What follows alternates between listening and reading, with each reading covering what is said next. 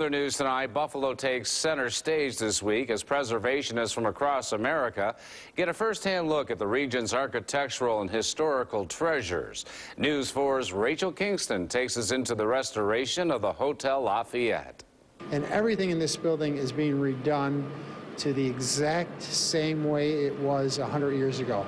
Stepping into one of the restored rooms of the Hotel Lafayette is like stepping back in time. This is a huge project.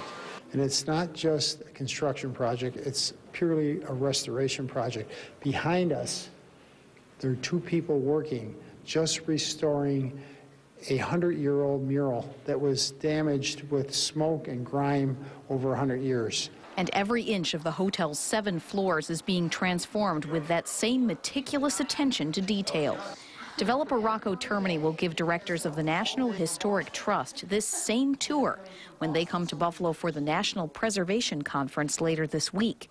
They'll see the room that will eventually be a steakhouse with its iron scrollwork and gilded columns, and the crystal ballroom next door with its newly laid white marble floor and handcrafted chandeliers. Just four months ago, it looked like this ballroom across the hall. That's what restoration is about. And that's why the Historic Trust is coming to Buffalo. They want to see really what it takes to restore an old building. And this is a perfect example because we have parts of this building that have been done. We have parts of this building that are in between stages and parts that haven't been started yet. For local preservationists, being chosen as a host city for this conference is the ultimate honor. This conference will put Buffalo on the map with historic preservation people.